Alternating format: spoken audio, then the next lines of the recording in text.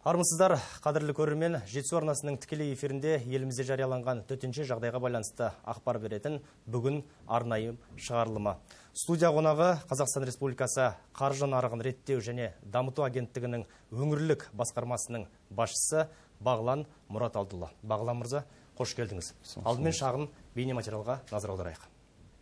Кеше екі адам коронавирустан емделіп шықты деп сүйіншілеп едік. Артынша қаралы хабар жетті. Covid 19 елімізде бір әйел адамның өмірін қиды қазір індет жұқтырғандардың саны күн санап артып жатыр. Соңғы ресми ақпарға сүйенсек кесел жұқтырғандар 121-ге жетті. Карантин кезінде елдегі кәсіпкерлік нысандардың 80 пайызы жұмысын тоқтатты. Халық табыс көзін жоғалтты кіріс азайды. Дағдарысты еңсеру үшін ел билігі 10 миллиард доллар бөлінгенін айтады. Төтенше жағдай жөніндегі мемлекеттік комиссия отырысында президент қасым жомарт тоқаев төтенше жағдай кезінде банкке берешегі бар қазақстандықтардың барлық кредитін төлеу кейінге қалдырылатынын мәлімдеді. Ранее я уже давал поручение төтенше жағдай қолданысы кезеңінде бұған дейін қабылданған айыппұлдар мен өсімпұлдарды есептеуге тыйыммен қатар халықтың барлық зайымдары бойынша негізгі қарызы бен сыйақы сомасын төлеуін тоқтата тұру қажет. Банктерден толық түсінік пен азаматтық ынтымақтастық күтемін. Азаматтық кодекстің 359 бабында несие бойынша міндеттемені орындамаған қарыз алушы еңсерілмейтін күш жағдайлары яғни дүлей құбылыстар әскери әрекеттер сияқты төтенше және еңсерілмейтін мән жайлар болған кезде мүліктік жауапкершілікте болмайды делінген. Демек төтенше жағдай кезінде несиені төлемей тұра тұруға заң рұқсат береді. Бұл норма жеке және заңды тұлғаларға банктер ғана емес сонымен қатар ломбардтар мен кредиттік серіктестіктерді қоса алғанда әлемдік қаржылық ұйымдары сондай ақ өзге де кредиторлар берген қарыздарға қолданылады Бағлан мырза, өзіңіз сюжеттен танысып білдіңіз, бұған дейін де естіп жүрсіз, ә, бұқаралық ақпарат құралдары арқылы да ә, бұл насихатталып жатыр. Халықтың жағдайы дәл қазір белгілі, төтенше жағдай жарияланды. Ә, осыған орай президентіміздің дәл осы уақытта қаржылық ұйымдардан азаматтардың қарызын уақытша тоқтата тұруды сұрады. Бұл қалай жүзеге асады? Ә, жалпы енді ә, осылай студияңызға шақырғаныңызға бірінші алғысымды айтамын өйткені бүгінгі қаралып жатқан талданып жатқан мәселе ол өте күрделі өте өзекті мәселе. Өйткені біз білеміз өкінішке орай халқымыздың көбінесі көбісі қаржы ұйымдарында белгілі жаңағы кредиттері қарыздары бар. Оның барлығымыз түсінеміз оның барлығын білеміз. Енді жаңа айтып кеткендей қазақстан республикасы бүкіл аумағында осы ағымдағы жылдың 16 наурыз бен 15 сәуір аралығында төтенше жағдай кезеңі енгізілген болатын қазақстан республикасы президентінің жарлығымен. Осыған байланысты еліміздің экономика экономикасының бірқатар салалары салаларына қазір кезде шектеулер қойылған болатын. Яғни атап айтсақ олар мысалға кинотеатрлар білеміз үлкен мысалға мейрамханалар бар ірі сауда орындары. иә ірі сауда орындары бар дегендей. Сондықтан осы жерлерде істейтін көптеген мысалға азаматтарымыз қазір кезде осындай қиын жағдайға түсіп отыр. Сондықтан осы кісілердің борыш жүктемесін жаңа өсіп кетуіне жол бермеу үшін мемлекет тарапынан бірқатар осы шаралар қолданған болатын. Соның арасында осы қазақстан республикасы қаржы нарығын реттеу және дамыту агенттігінің төтенше жағдай кезеңінде халыққа және кәсіпкерлік кәсіпкерлік субъектілеріне қолдау көрсету шаралары туралы қаулысы қабылданған болатын осы 22 наурыз күні. Осы қаулыға сәйкес біріншіден жеке тұлғаларға егер де мысалға олардың қарыздары бойынша кепілсіз қарыздары бойынша 90 күннен астам берешегі пайда болған жағдайда ары қарай сыйақы мөлшерлемесін жаңағы есептеуге тыйым салынады. Яғни 90 күн қарыз болып қалса ары қарай сыйақы төленбейтін болады есептелмейтін болады. Екіншіден ол осы төтенше жағдай кезеңінде жаңа қалыптасқан өсімпұлдар айыппұлдар олар олардың да есептелуі жаңағы тоқтатылады қазір кезде. Пайыздық өсімнің барлығы тоқтатылады. Пайыз 90 күннен егер де 90 күннен астам болатын болса пайыз тоқтатылады. Ал егер де өсімпұлдар мен айыппұлдар болатын болса осы төтенше жағдай кезеңінде олар есептелінбейді. Есептелінбейді. олар есептелінбейді иә. Ондай осы екі жағдайда ә, жеке тұлғадан ешқандай ә, жаңағы арыздың қажеті жоқ өтініштің қажеті жоқ қарыз берушіге Ә, өйткені ондай жағдайда осы қаржы берушілер, берушілер автомат түрде ә, бір жақты ә, осы мәселені өздері шешетін болады. Яғни ешқандай арыздың ә, арызбен баруға ә, жаңағы мәселен кейбір банктер а, онлайн өтініш толтырыңыздар деген сынды а, міндеттеп жатыр екен. Оны қазір айтып кетемін. Ол екінші ә, жаңағы ә, шара яғни ә, яғни жеке тұлға ә, егер де осы жаңа айтып кеттім ғой шектеу қойылған экономика саласында жұмыс істеп немесе осы төтенше жағдай енгізудің нәтижесінде оның жұмыссыз қалу жаңа қалып қалуына әкеп соқса немесе табыс көзінің төмендеуіне әкеп соғатын болса ондай жағдайда қарыз беруші ой қарыз алушы осы қарыз алған ұйымға ұйымнан жаңағы белгілі өтініш толтырып өтінішпен осыларға жүгінеді. Ал қарыз беруші банк болсын микроқаржылық ұйым болсын ломбард болсын олар сол өтінішті қабылдайды. Жаңа істің мән жайын қарайды қаржылық жағдайын талдайды. Егер де барлығы дұрыс болып дәлелдейтін болса қаржылық жағдайы наш- нашарлаған туралы онда қосымша қолдау көрсетуі мүмкін. Ол жаңағы негізгі сыйақы негізгі қарыз бен сыйақыны кейінге қалдыруға мүмкіндік бар. Екі ай бола ма үш ай бола ма ол қаржылық жағдайына байланысты өздері бірлесіп шешетін болады. Жақсы түсінікті. Бізге хабарласқан көрермен бар екен. Байланысқа қосайық. Қайырлы күн көрермен. Сіз байланыстасыз сәлеметсіз бе? біздің жаңағы отбасымызда евразия банк пен хоум кредитта біздің берешегіміз бар еді. Соны жаңа естуіміз бойынша енді нақты осы айдан бастап төлемеуге болады ма? Соған жауап берсеңіздер қай өңірден хабарласып отырсыз көрермен? Сарқанд алматы облысы. Жақсы рахмет.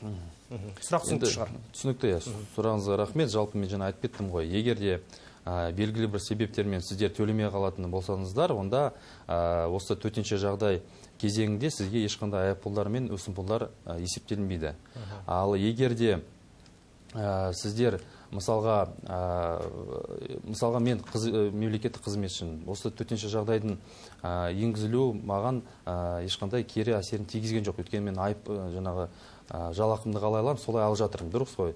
Ә, сондықтан мен мысалға ары қарай ә, қарызды төлемеуге ондай құқым жоқ мен. Ал мысалға сіздер осы төтенше жағдайдың ә, енгізілуіне байланысты ә, жұмыссыз қалып қалсаңыздар немесе қаржылық жағдайыңыз ә, жаңағы төмендеген жағдайда онда сіздер осы банк жаңа екі банк дедіңіз ғой осы екі банкілерге қашықтықтан нысанда дейді. То есть ә, дистанционным способом дейді ғой орысша айтқанда. Қашықтықтан ә, олар мобильді банкинг болуы мүмкін ә, электронды поштасы болуы мүмкін. Ә, осы, ә, осы осы құралдарды ә, қолданып тиісті өтінішті жазып ә, осындай ә, негізгі қарыз бен сыйақыны кейінге қалдыру туралы тиісті өтінішпен жүгінуіңізге болады. Ондай жағдайда банк мүмкін сізден қосымша бір құжаттарды талап етуі мүмкін. Яғни мысалға жұмыссыз қалып қалғаныңыз немесе қаржылық жағдайыңыз төмендегендігі туралы дәлелдейтін құжаттарды мүмкін иә қаржылық жағдайына да қарайтын болып тұр ғой. Міндетті иә тексеріп. Енді мынау whatsapp желісі арқылы келген екен. Сұрақ сәлеметсіздер ме? Зейнеткерлердің де несиесі уақытша тоқтатылуға жата ма дейді Зама- зейнетақы тоқтамайды ғой. Жоқ жаңа айтып кеттім ғой. Енді қараңыздар зейнетақы ол кісілер енді зейнетақысын қалай алады солай алып жатыр ғой. Сондықтан жалпы бұл жағдай халықты әлеуметтік топтарға нетпейді. Бөлмейді. Бөлмейді. бөлмейді иә. Яғни егер де бұл төтенше жағдай кезеңі сіздерге нақты әсерге әсер ететін болса сіздің қаржылық жағдайыңызға ондай кезде иә ондай кезде ә, отсрочка дейді ғой орысша айтқанда кейінге қалдыруға болады негізгі қарыз бен сыйақыны төлеуге. Ал егер де ондай сіздерде мысалға кері әсер тимейтін болса онда ондай жағдайда отсрочка дейді ғой ондай ә, қолданылмайтын болады. Демек сіздер де сонда зейнеткерлерді барып өтініш жазуға міндеттейсіздер ме? Енді қаржылық жағдайын айтып түсіндіруге жаңа қалай болады? жаңа айтып кеттім ғой зейнеткерлер мысалға олар өздерінің зейнетақысын қалай алады олар солай алып жатыр. Олардың қазіргі кезде осы төтенше жағдай енгізуін ба- байланысты қаржылық жағдай қазіргі кезде төмендеген жоқ қой қазір. Кері әсерін тигізген жоқ. Біздер айтып отырғандарымыз мысалға ә, аспазшы үлкен мейрамханада аспазшы болып істейді мысалы Ай- айлығы тоқтатылған. Айлығы тоқтатылды немесе жұмыссыз қалды немесе төмендеді. Ол сол кезде ол банкіге айтылады мен осындай ресторанда жаңағы аспазшы болып істедім мейрамханада. Міне мен жұмыссыз қалдым немесе менің ә, жарты ставка дейді ғой мысалға ә, жалақым жүз мың болса елу мың жасап қойдым міне құжаттарым міне деп осындай кезде дәлелдейтін болса банкіге сол кезде банк ол екі ай бола ма үш ай бола ма кейінге қалдыратын болады. Жалпақ тілмен айтқанда зейнеткерлер қаржылық қатты тапшылық болмаса иә. міндетті түрде сол жалғастыра береді төлей береді. Жалғастырып төлей береді. Ә, енді бір айтып кетерім жаңа айтып кеттім ғой. ә, осы төтенше жағдай кезінде белгілі бір себептермен төлей алмай қалған- жағдайда ондай кезде өсімпұлдар мен айыппұлдар біріншіден есептелмейді. Соны ә, жаңа біз білуіміз керек. Ол Жақсы. барлығына жатады. Жақсы түсінікті. Бізге хабарласқан тағы бір көрермен бар екен. Байланысқа қосайық. Қайырлы күн көрермен. Сіз байланыстасыз. Ассалаумағалейкум. Уағалейкум ассалам кредитті мен мына зат алып едім да кредитке. Айына жеті мың теңгеден төлеуім керек. Соны жұмыссыз жатып қалдым да. Соны күн бүгін сообщение келіпті сегіз мың үш жүз теңге деп. Жұмыссызбын деп айтып жатсам да өсіріп жатыр да жинасын да соны. Қазір қазір қызметте жоқсыз жұмыста жоқсыз иә? иә жұмыссызбын қазір. Әйеліме жұмыссыз мен жұмыссыз жатырмын да соны. Білейін деп едім неге өсіп жатыр ол. Президентіміз айтуы бойынша үш ай тоқтайды деп еді ғой қай банкіден сіз алдыңыздар? Жоқ фотобанк через фотобанк төлейді да соны жақсы рахмет көрермен сауалыңызға. Жаңа енді ә, фортобанкті алатын болсаңыздар қарызыңызды ә, егер сіздер осы жұмыссыз қалып қалған жағдайда сіздер жаңа айтып кеттік қой ә, осы фортобанкіге тиісті өтінішпен жолығуыңыз қажет сізге. Осы өтінішке сіздер жұмыссыз қалдыңыз деген ә, жаңағы дәлелдейтін құжаттарыңызды тіркеп берсеңіздер негізі фортобанк сізге осындай қолдау негізі көрсету керек Төтенше жағдайға байланысты қабылданған, иә, шараларға бойынша. иә олар екі ай бола ма үш ай бола ма олар сіздер ә, фортобанк ә, екеуіңіз өзара келісіммен шешесіздер осы қадірлі көрермен біз тікелей эфирдеміз. Сондықтан қандай да бір сауалыңыз болса студия қонағына хабарласыңыздар қоңырау күтеміз және whatsapp әлеуметтік желісі қосылған хат жолдаңыздар. Келесі бір whatsapp желісі арқылы келген хат мен алматы қаласындамын. Карантинге байланысты жұмысымыз тоқтап қалды. Төлемдер өте көп. Күнде хабарласады төлеңіз деп жағдайымызды түсінбейді. Штраф дейді дейді. Енді бұл ә, сұрақ қараңыздар жаңа тағы да айтып кетеміз. Осындай жағдайда міндетті түрде тиісті өтінішпен жолығу керек біріншіден.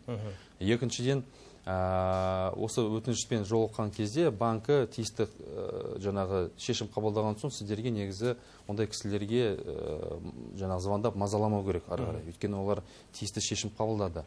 Сонымен қатар ә, төтенше жағдай кезінде тағы да айтып кетеміз ә, ешқандай штраф ешқандай айыппұл өсімпұлдар есептелінбейді соны да білу керек. Жақсы ал енді мынау ә, төтенше жағдай өтер ә, бұйырса содан кейін бұл ә, жаңағы мынау тоқтатылған үш ай. Үш ай мерзімдегі жаңағы ә, төлейтін ақысы бар.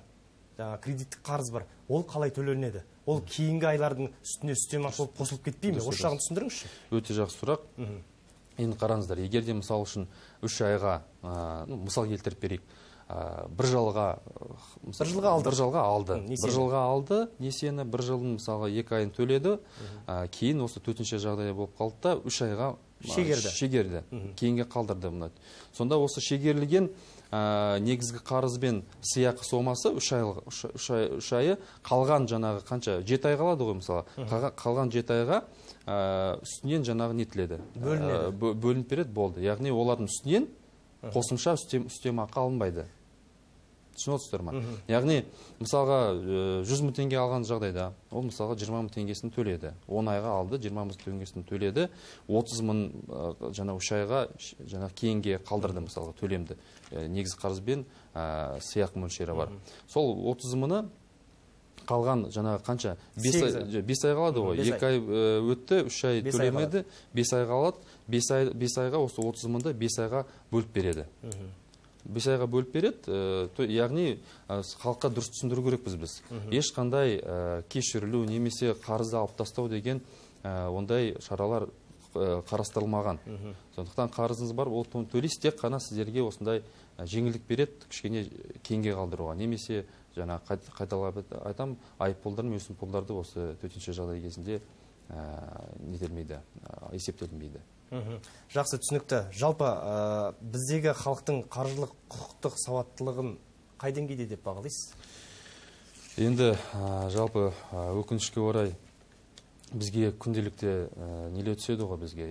Жеке және заңды тұлғалардың өтініштері келіп түседі бізге өте көп түседі. Жылдан жылға көбейіп бара жатыр. Енді көбінесе бізде біз көреміз осы арыздардан. Көбінесе ә, бір 80-90 пайызы арыздардың олар негізсіз болып табылады. Яғни ә, қарыз алушылардың өздерінің ә, қаржылық сауаттылық сауаттылығы болмауының себебінен яғни олар мысалға қарыз шартын дұрыс оқымайды. Олар мысалға өздерінің құқықтарын білмейді. Мысалы үшін олар банкіге сіздер барып тегін түрде банкіге мысалға арыз жазып өзіңіздің қарыздарыңыз бойынша ақшаларыңыз қайда кеткенін кеткендігі туралы ә, тегін түрде сіз ондай ақпарат ала аласыздар мысалы үшін. Оны да білмейді. Ә, және біз айтатынымыз ә, қарыз шартын жасасқан кезде міндетті түрде барлығын болмаса да бірінші екі бетін оқысаңыздар негізгі талаптардың барлығы осы бірінші екі бетте жазылады қарыз шарттар. Сондықтан қарыз шартын алудың алдында бірінші барлығымен танысып алу керек. Өйткені ертең қол қол қойғаннан кейін сіздер ол міндеттемені мойныңызға аласыз да ол міндеттемені орындауға міндеттісіз. Енді қазір ә, ел арасында әртүрлі жағдай болады. Әркімнің басына әртүрлі жаңағы жағдай келеді дегендей. Барлығы мәселен дәл қазір несиеге жүгіретін болды. Жеңіл ақша дейді жаңағы ар жағы пайыздық үстемақысын оны есептемей ақ тіпті кейбіреуі осыған лажсыз барады деп айтайық. Дәл қазір төтенше жағдай уақытында осындай несиелер беріліп жатыр ма? Иә қазіргі кезде ә, несиелер беріліп жатыр ә, бірақ та олардың барлығы қазір әр банк өзі ә, кредиттік ә, саясаты бар өзінің. Сондықтан әр банк өзі шешеді. Кейбір банкілер мысалы тоқтатты қазір несие беруін кейбір банкілерде пайыз мөлшерлемесі көбейді кейбіреулер. Өйткені ә, базовая ставка дейді ғой базалық ставка қазір көтерілген болатын ұлттық банкімен. Вот, ә, сондықтан әр банк өз шешеді. Ал негізі банкілер қалай жұмыс істеп жатыр солай жұмыс істеуде қазіргі кезде. Бағлан мырза мынау whatsapp әлеуметтік желісі арқылы келіп түсіп жатқан хаттардың көбі дерлік алғашқында хабардың сіз жауап беріп кеткен сауалдар бойынша десе де бізге кейіннен қосылып жатқан кешіріңіздер. Кейіннен қосыл- қосылып жатқан көрермендер үшін тағы да бір рет айта кетіңізші. Мәселен жаңағы мен 17 күні ә, наурыздың төлеуім керек болатын бірақ та қазір маған төле деп ә, күнде қоңырау шалып жатыр дейді. Сондай азаматтарға тағы бір мәрте қайталап өтіңізші өтініш. Егер же мысалға 17 17 күні төлеу төлем келетін болатын болса ә, сіздер белгілі бір жағдайлармен мысалға төтенше жағдайға байланысты төлемаға төлей алмай қалған жағдайда осы 17-сі мен мысалы 15 сәуір 17 наурыз бен 15 сәуір аралығында осы төтенше жағдайдың ә, кезеңінде ә, банк сізге ешқандай өсімпұлдар мен айыппұлдарды есептемейді. Ол біріншіден. Екіншіден егер де сіздер төлей алмаған себебіңіз ә, осы төтенше жағдайдың ә, нәтижесінде болатын болса сіздер міндетті түрде тез арада осы қарыз алған ә, қаржылық институтқа барып ә, өзіңіздің жаңа өтінішіңізді ә, және құжаттарыңызды тіркеп тиісті өтінішпен жолығуыңыз қажет. Сол кезде мүмкін банк сіздерге ә, жаңағы кейінге қалдыратын болады осы төлемдерді. Жақсы көрермендеріміз үшін түсінікті шығар деп ойлаймыз. Ә, енді мынау сіздер еліміздегі барлық банктердің ә, үстінен қарай аласыздар. Иә ол жөнінде жаңағындай енді бір нақты бір мәлімет бере алмасаңыздар да бұған дейін каспий банк өкілдері басшылары екінші сәуірден басталатынын айтты. Жаңағы тоқтататынын.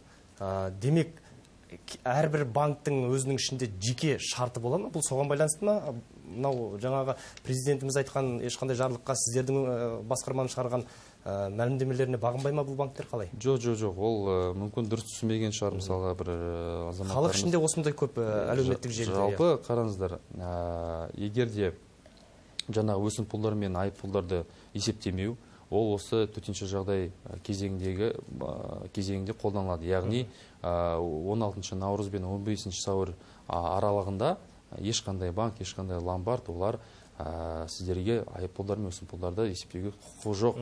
Өйткені ол тек қана мемлекет тарапынан аталған шаралар емес сонымен қатар бізде азаматтық кодекс бар. Сол азаматтық кодекс форс мажорный обстоятельства дейді ғой. Форс мажорды форс мажор болып табылады да сондықтан олар қосымша ондай әрекетке баруға құқықтары жоқ негізі.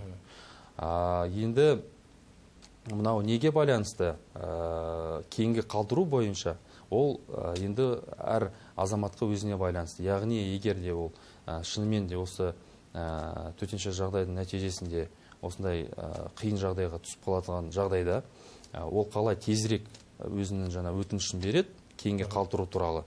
Сол уақытта жаңа банк болсын микроқаржылық ұйым болсын тиісті шешім қабылдайтын болады. Жақсы. Бізге хабарласқан тағы бір көрермен бар екен байланысқа қосайық. Қайырлы күн көрермен сіз байланыстасыз саламатсыз. Ба мен баламның кредиті жөнінде звондап тұр едім сіздерге. Каспий банкта ертең төлейтін кредиті бар еді. Қалай істесек болады? Ертең төлей алмайды. Енді он бесінен бастап жұмысы тоқтап тұр. Айлық жоқ. Сіздер өздеріңіз банкке банкке хабарластыңыздар ма? Хабарластық банкке хабарлассақ екісінен бастап былай қарай саналады. Қазір данный момент төлеулеріміз керек деген. Қалай қалай тағы да? Қазіргі уақытта төлеулеріміз керек. Ертең жиырма сегізі ма төлеулеріміз керек. Келесі ай екісінен бастап ары қарай просрочка неге жібереміз дегенде енді просрочка болмайды деген. Осы айда просрочка болады деген. Қалай түсінуге болады бұны енді? Балаңыз қызметте бар ма? Қазір жұмыс істей ме? Қазір данный момент жоқ. Данный он бесінен бастап тоқтап қалды. Жақсы рахмет. Сауал түсінікті шығар сауал түсінікті иә сондықтан мен жаңа жаңағыны айтып кеттік қой. Бірінші очередь сіздерге осы каспий банкіге тиісті өтініш болыңыз тиісті өтініш жазу керек. Сонымен қатар жұмыссыз қалып қалдым деген осы құжаттарын көрсетеді де дәлелдеген жағдайда осындай қаржылық жағдай төмендеген туралы осы төтенше жағдайдың кесірінен. Банк жаңағы не кейінге қалдыру отсрочка беру дейді ғой орысша айтқанда түсінікті тілмен айтсақ. Отсрочка беруге ол міндетті болады қолыңызға соны білу керексіздер сондықтан бірінші мәде сіздер ең біріншіден жаңағы тиісті шартпен ой өтінішпен тиісті арызбен жолығуыңыз керек банкіге. Ол ондай шарт осындай ондай өтініш ондай арыз болмайтын болса қарыз алушыдан банк қайдан біледі? Ол кісінің осындай қаржылық жағдайы төмендеді ма төмендемеді ма ондай банкі жаңағы қарыз шартына өз бетімен ондай жаңағы нелер кейінге қалдырып отсрочка беруге ондай құқы жоқ жақсы бағлан енді мынаны айтыңызшы мынандай аласапыран уақытта қаржы беру мен тұтынушы арасында қандай да бір дау туындап қалса келісе алмай ол төле дейді бұл үш ай шегерілді дейді кімге хабарласады кімге шағымданады? Иә енді жалпы осындай қиын жағдайға түсіп қалған азаматтарымызды қолдау мақсатында бізде жалпы республика бойынша агенттіктің жедел телефоны жаңағы жедел желі телефоны бар. Оны жазып алуыңызға болады. Ал олар алматыда жаңағы сегіз жеті жүз жиырма жеті жиырма жеті сексен сегіз жүз қырық төрт деген номерге қоңырау шалуға болады тағы бір қайталап жіберіңіз көрермендеріміз үшін. Алматының жаңағы кодын білесіздер ғой жеті жүз жиырма жеті. Ары қарай жиырма жеті сексен сегіз жүз қырық төрт нөміріне қоңырау шалып тиісті кеңес алуыңызға болады. Немесе егер де жаңағы сіз айтқандай дау туындап қалған жағдайда банк келіспей банк, банкмен келісімге келмейтін жағдайда сіздер осы біздің жаңағы біздің басқармаға да жолығуыңызға болады. Біздің басқарманың номері талдықорған қаласында орналасқанбыз. елу бес тоқсан бес нөл бес. Телефонына қоңырау шалып біз тиісті кеңес беруге тырысамыз. Сонымен қатар енді қазіргі кезде айтып кететін жайт екінші деңгейлі банкілер бар. Бізде мысалға мемлекеттік орган ретінде осы індеттің таралмауына таралмауы үшін кең, кеңінен біз қазіргі кезде көбінесе осы онлайн дейді ғой. Онлайн немесе телефон байланысы арқылы осындай кеңестерді қашықтан аха беруге тырысамыз біз қазіргі кезде. Жақсы әлеуметтік желіде сұрақ өте көп. Соның бірін оқи кетейін. Менің кредитім бар енді банктен хабарласып қай банк екенін жазбапты.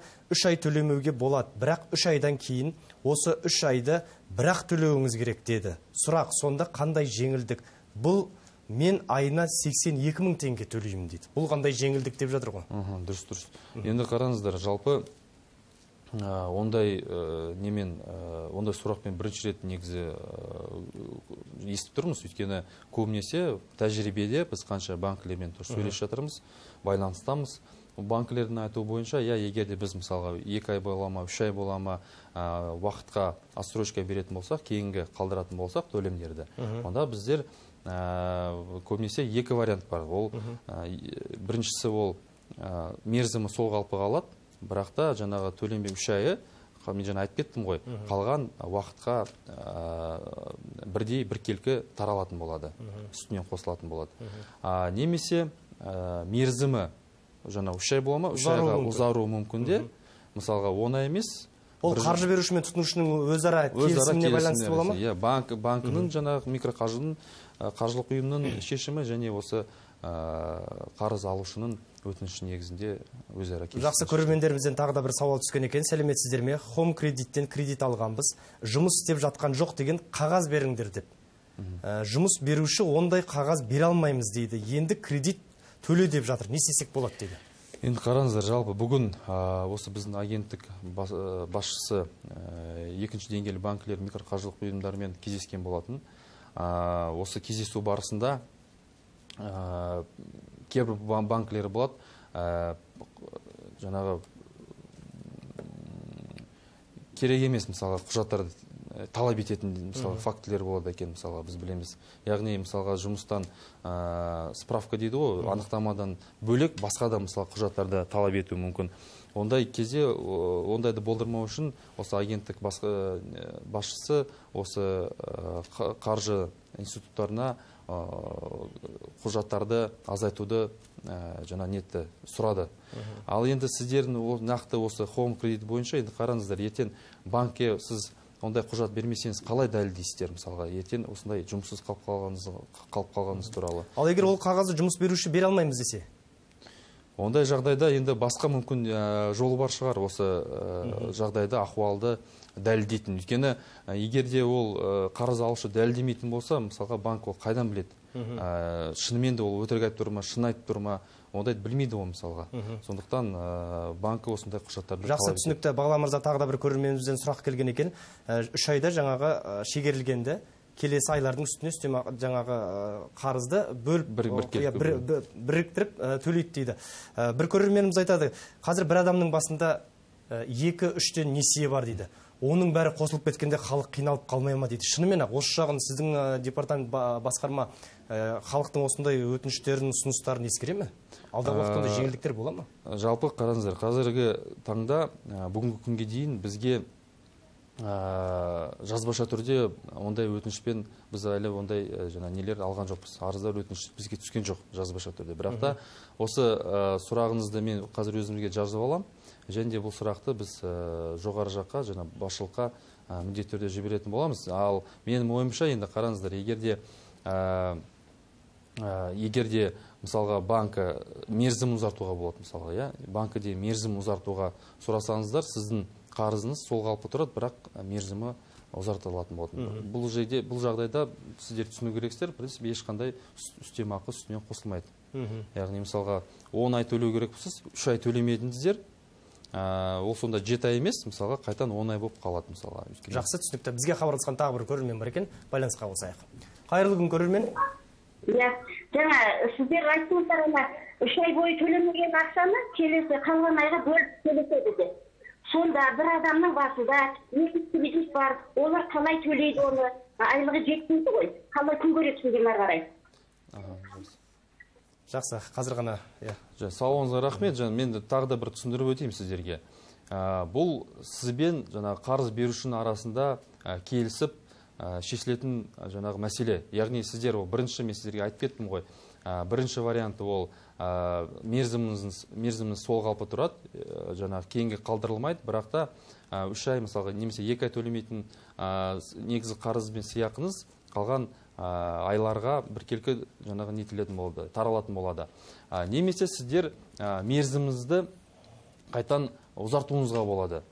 Яғни ұзартатын болсаңыздар сол кезде қалай мысалға ай сайын төлейсіздер тура солай төлемдеріңіз қала береді онда.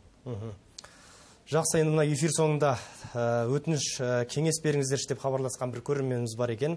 Сәлеметсіздер ме? Менің сұрайын дегенім хоум банктен несиемді төледім. Яғни жапқан болып тұр ғой. Бірнеше айдан кейін маған жеке сот орындаушы хабарласып коллектор агенттігінің қызметіне төлемедіңіз сіздің қарызыңыз жабылмады. иә жабылмады дейді. Ал бүгінгі күні 128 мыңды құрайды. Тездетіп төлемесеңіз бұл сома ары қарай өсе береді. Сонымен менің барлық құжаттарым бұғатталды деген хабарлама келді. Мен енді не істеуім керек дейді. Енді бұндай сұрақпен біз күнделікті осындай сұрақтарды қарастырамыз. Ең бірінші сіздер банкіге барып бірінші білу керексіздер. Неге қарызыңыз жабылмады деп? Егер де банкіден дұрыс жауап алмайтын жағдайда онда біздің басқармаға жазбаша түрде өтініш қалдырсаңыздар біз өтінішіңізді қарап банкіге тиісті түрде тексеріс жүргізіп істің мән жайын анықтап сізге тиісті түрде жауабын беретін боламыз. Өйткені мән жай әр түрлі болуы мүмкін бұл жерде. Қазір құжатсыз ештеңке жаңағы айта алмаймыз біз. Жақсы бағлан бүгін студиямызға келіп уақыт бөліп сұхбат бергеніңізге үлкен алғысымызды айтамыз. Бізге берілген уақыт әрине шектеулі. Үлкен рахмет сізге. Қадірлі көрермен біз сіздермен осы жерден қоштасамыз. Бірақ кешкі сағат 19.00-де жетісу арнасымен бірге болыңыздар. Себебі студия қонағы еңбек нарығына қатысты облыстық еңбек инспекциясының өкілдері келмек. WhatsApp әлеуметтік желісі арқылы жолдаған барлық хаттарыңыз ескеріледі. Сондықтан хабарласыңыздар сіздерден қоңырау күтеміз. Амандықта жүздесейік.